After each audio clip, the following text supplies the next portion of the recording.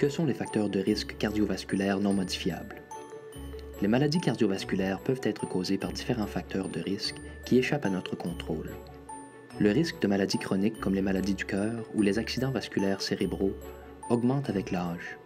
Cependant, les hommes ont un risque plus élevé de maladies cardiovasculaires plus tôt dans la vie. Chez les femmes, le risque s'accroît après la ménopause et les symptômes d'une crise cardiaque sont différents et peuvent passer inaperçus.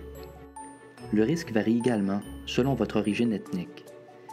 Les personnes d'origine asiatique, africaine et autochtone présentent un taux plus élevé de maladies cardiovasculaires.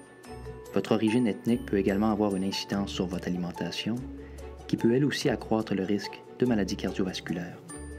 Si un parent de premier degré a eu une maladie cardiovasculaire ou un accident vasculaire cérébral avant l'âge de 55 ans chez les hommes et 65 ans chez les femmes, votre risque de maladie cardiaque est deux fois plus élevé.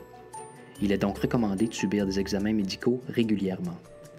Bonne nouvelle cependant, il est possible d'éviter ou de mieux gérer jusqu'à 80 des maladies cardiovasculaires prématurées en prenant ces mesures de prévention.